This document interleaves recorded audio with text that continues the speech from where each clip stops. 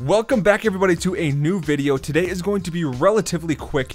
We have new news on Doom 4, the beta, and also a few things with DLCs. So Bethesda has announced now that Doom's open beta is going to come out April 15th at 9 a.m. Okay, and it is going to end at 9 p.m. on the April 17th. All of this open beta is going to include is Team Deathmatch and Warpath game modes. Warpath is a domination style game where players fight to take control of a moving capture point, holding the spot, so it's kind of like hardpoint slash domination. Two maps that are going to be coming to us is Heatwave and Infernal. This is only going to be two of the six game modes that are going to be released in the full game and only two of the nine maps that are going to be released in the final game.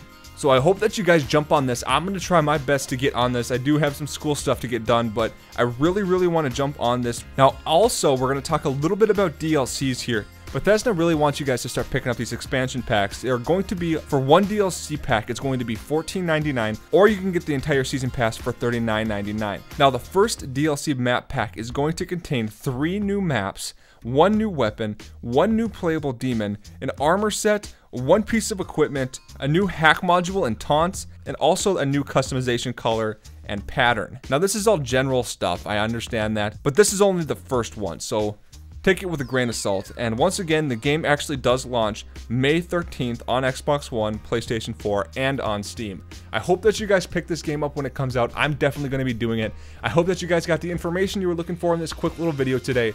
Leave a like, leave a subscription. It really does help me out. I will see you guys later.